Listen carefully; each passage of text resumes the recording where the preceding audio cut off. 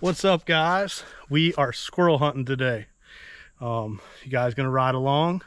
We're in Northeast Florida on some public land, and uh, then we're gonna take it home, cook some up for you. Maybe tacos, maybe stew, maybe fried. I don't know yet, but we'll see.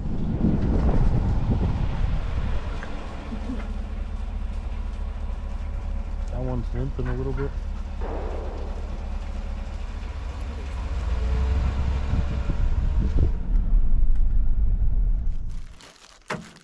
Like your backpack. Wait, is it a front pack? It's uh, It's a front pack. it's my first time uh, using one of these things, but uh, It's almost like a baby carrier, but for binoculars. don't be jealous. I'm styling. You are. Not as cool as my vest, though. I'm gonna hold all the squirrels in it. I actually bought this for turkey hunting, but we will see how I like it for the squirrel hunt. Hold on, I want to show you guys something. This is an old hunter's trick. If you're hunting public land, what you do is you come out and you see them colorful ribbons. Somebody's come through and, and marked this spot. And uh, that way you know it's a good spot and that's where you want to hunt. What does it say? People mark them like for the gun hunt and the bow hunt and they think that they can hold their spot. But the fact of the matter is it's public land and whoever gets here first it's their spot. But we are small game hunting and uh, we don't have to worry about uh, the quota hunts. This is a non-quota hunt and we are at a wildlife management area in northeast Florida. What's up in the tree? We're not 100 yards from the truck yet. First one. Mosquitoes are bad out here. Turn around so I can put it in your pouch. Shoot them next time, babe. Don't wait on me. I literally, they were chasing each other. It happened so fast. I need to walk to the truck and get bug spray. I didn't spray my face. I just sprayed my legs. Do you want bug spray? You did. That's a rookie mistake. I sprayed my legs. Let's go get the bug spray. Come on. Gosh. I guess we're getting bug spray.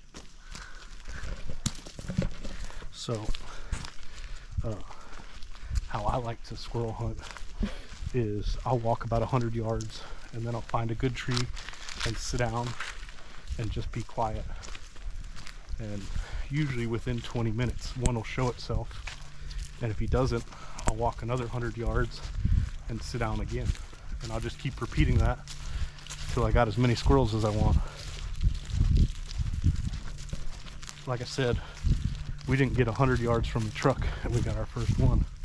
But look at these beautiful oaks. It is super pretty. This is my first time out here and a lot of people kind of frown on squirrel hunting, but it is a great way to learn a new property where if you're wanting to hunt it for next year and apply for, you know, a deer quota or something, come out and squirrel hunt it the year before.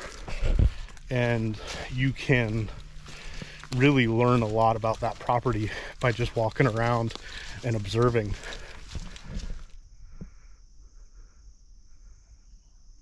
I see its tail, see it?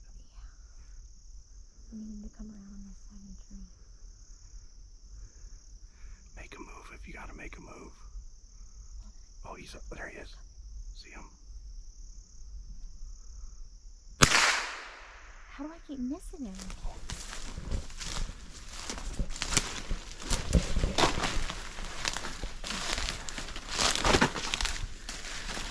We're trying to get closer.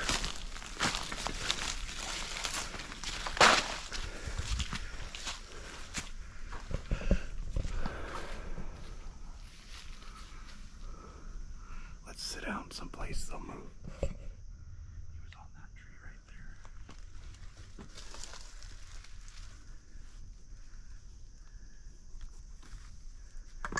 there. There he is.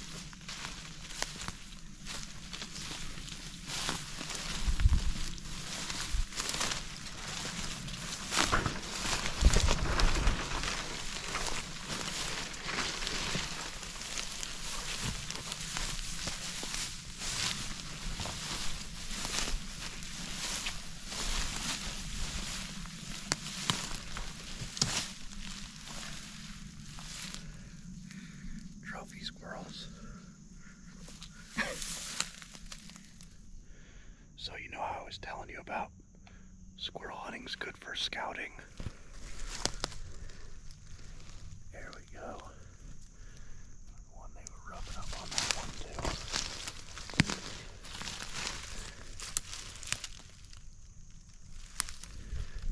And we just seen a pile of turkeys right here.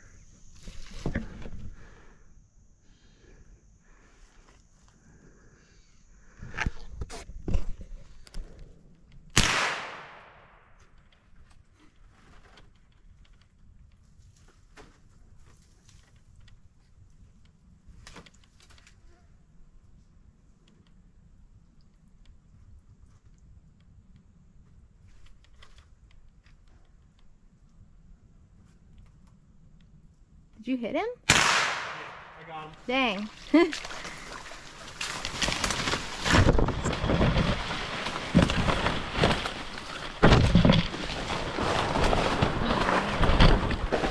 Uh-oh, I'm stuck.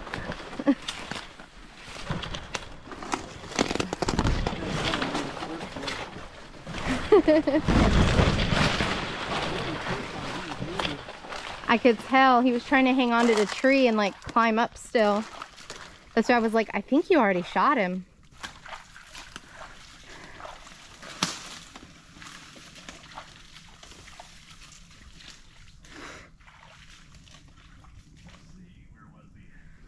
Um, you do? Okay.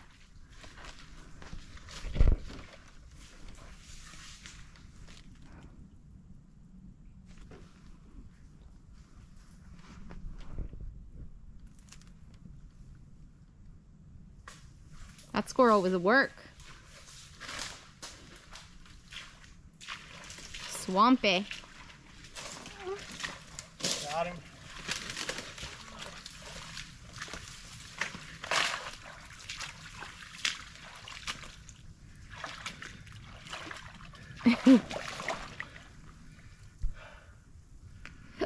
he tried to get away. He did. We got him. You know, I did kill some things today. Like what? Mosquitoes. All right, so it's about noon. We're gonna call it a day. Uh, we started pretty early. We saw a lot more squirrels than we killed, but we did end the day with three. Um, we're gonna take these home and cook them up. I'm excited for that, but I wanted to go over the gear we were using today. Um, we had two guns. I had my 22 long rifle. This is a Remington Speedmaster semi-auto. It's nice because it can shoot um, 22 long rifle, 22 short as well, although I never do it.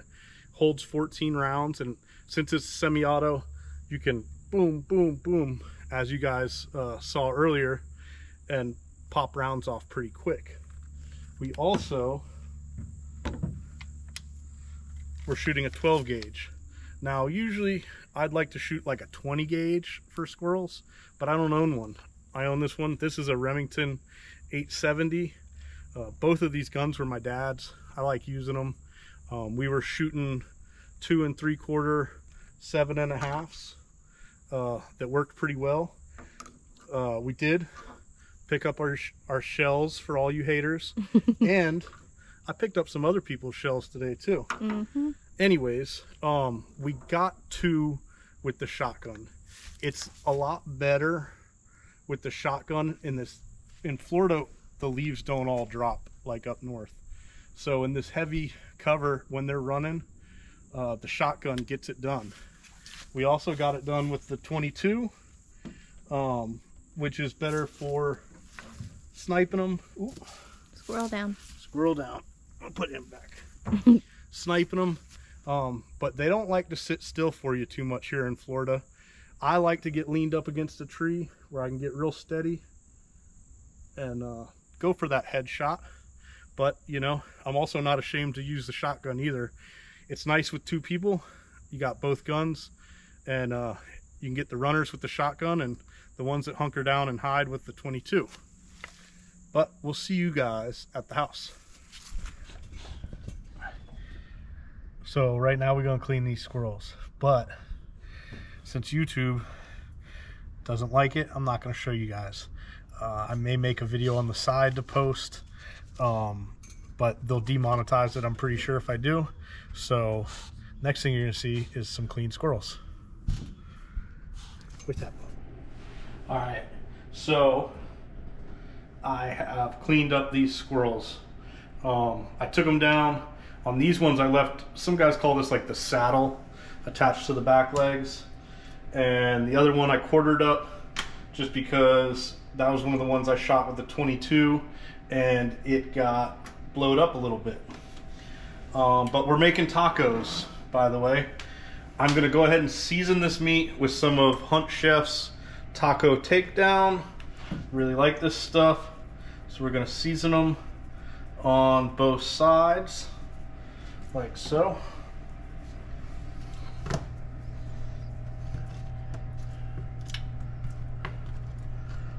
Do, do, do, do, do, do, do, do. Season both sides well. Then I've got a hot Dutch oven here. And come in with some olive oil. Just coat the bottom of that.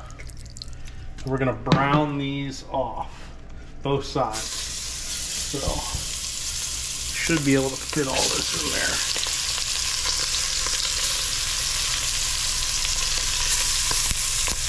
nice hot cast iron. Get a little color on these things.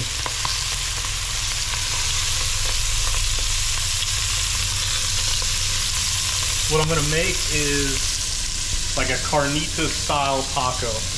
And sounds like uh, World War II. the helicopter's flying over my house right now.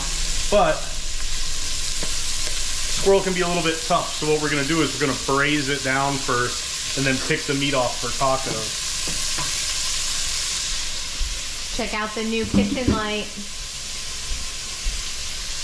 Pretty nice.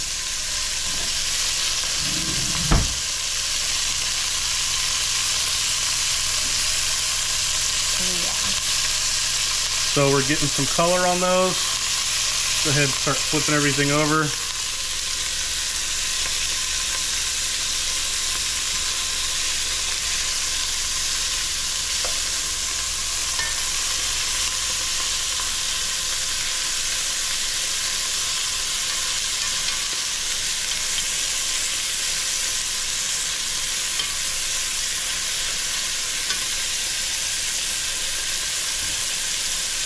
All right, that's just gonna take just a second.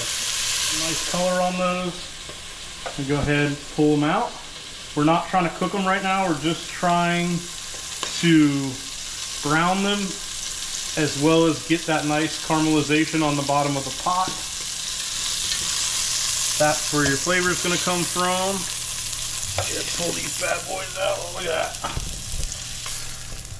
And I'm gonna go in with just a little bit of uh, rough chopped onion and garlic.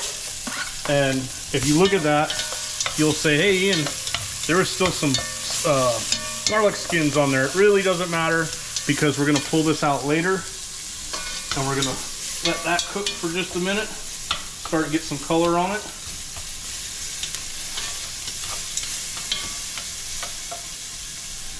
Once that's done, we're gonna add a little chicken stock and deglaze the bottom of that pan.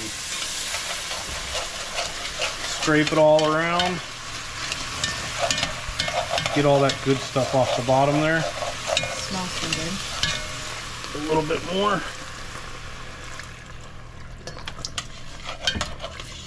Bring that up higher. What we're gonna do is add them back in now.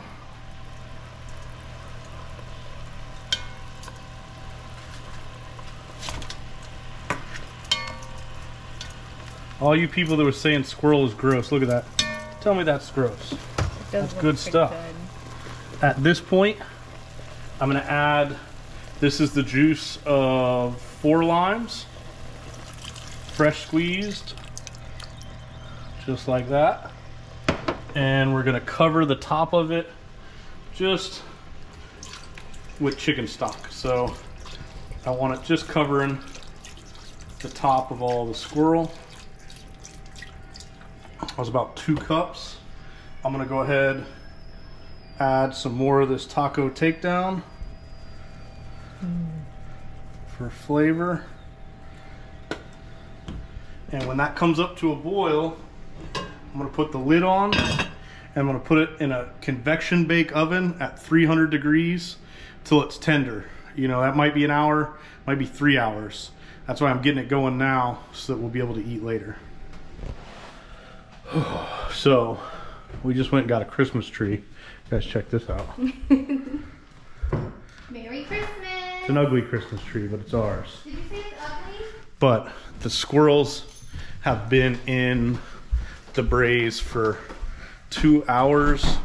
Give you guys a look here. I'm gonna check those real quick, see if they're fork tender. Let's see. Oh yeah, look at that. See how tender that is? So I'm gonna let this cool and then I'm gonna pick the meat for tacos. I just rewatched that clip and it dawned on me you guys did not get a good look at this. So I'm gonna make sure you do. Look at how delicious that looks. Almost want to eat it right now. So I'm gonna show you guys how to make a quick little Baja style sauce for tacos. Um, do like 50% mayonnaise and 50% sour cream, right?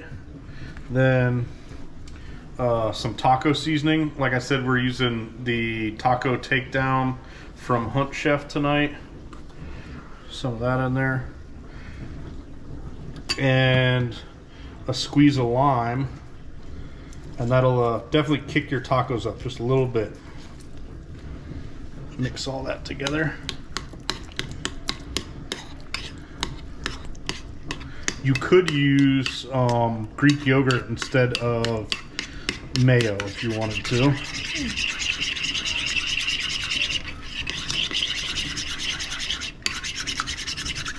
I'm to do a touch more of this.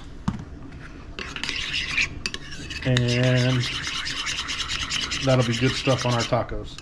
All right, y'all. This stuff is just like fall off the bone tender here. And Squirrel's got lots of little bones, just like that. So I'm gonna go ahead, pick through and just make sure I get all the meat and none of the bones. We'll have this plate done in no time.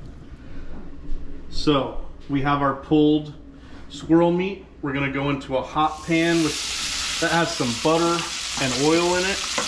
Traditionally, it would be lard or uh, a pork fat um, but I just don't have any tonight, and I'm making do. I'm toasting up some tortillas, and this won't take long. And what I'm trying to do here, it's just gonna get some crispy edges on it all.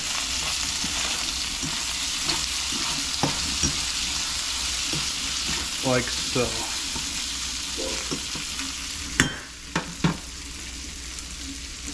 Like that. So, what we'll do is,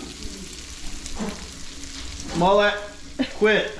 Cut it out, dude. A little bit of that Baja sauce mm -hmm. right there. A little bit of that squirrel carnitas, if you will, like so. I like a little bit of white onion on there and a little bit of cilantro for uh, little, uh, I guess, street taco.